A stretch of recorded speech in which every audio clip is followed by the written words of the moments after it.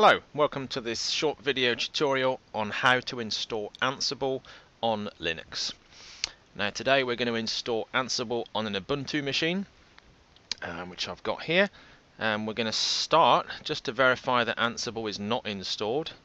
And you can check the Ansible version by using this command, ansible dash dash version. And you can see it's currently not installed.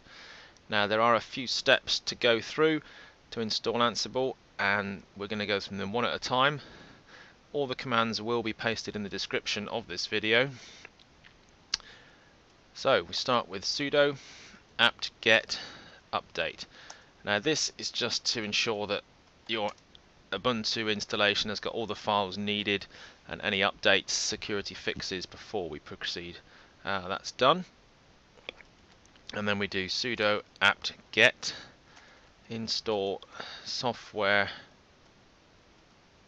properties common. Now this is building a few more updates. Say yes to that. There'll probably be a, form, a few more things coming down here. So I'll just pause the video while this installs. Okay that's finished.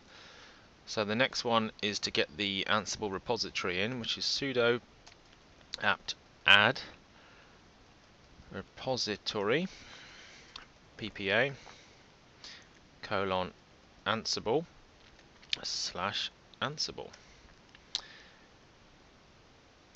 We have to hit enter to accept that. That's done. And the final sudo apt-get install ansible.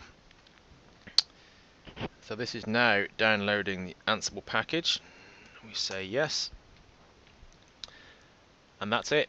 So Ansible is now going to connect to the repository pull down the files. So I'll just pause the video while that's updating.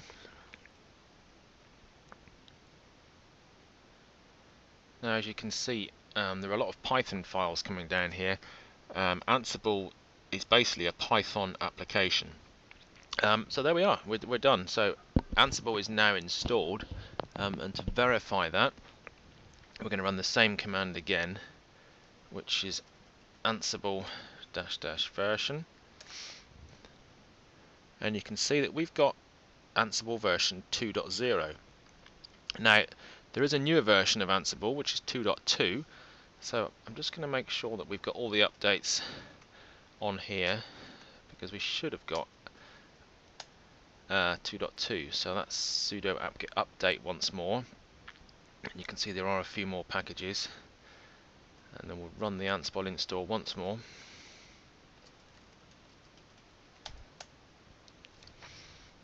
Um, now this is going to upgrade Ansible as you can see. And we're now upgrading Ansible it's just going to install 2.2.1 over the top which is what we need